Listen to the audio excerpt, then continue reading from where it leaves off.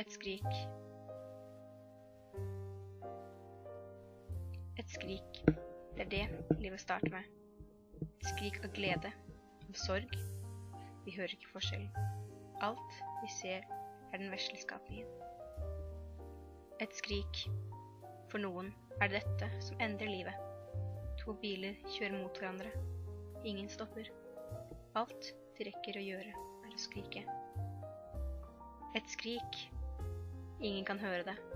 Det har gravd seg inn i hodet ditt. Du kan ikke gjøre noe for å bli kvitt det. Det har gjort deg gal. Et skrik. Et skrik i en stor verden. Skrikene etter en bombe, etter et skudd. Skrikene av redsel og frykt. Det mest forferdelige i verden. Et skrik. Smerten du påfører deg selv.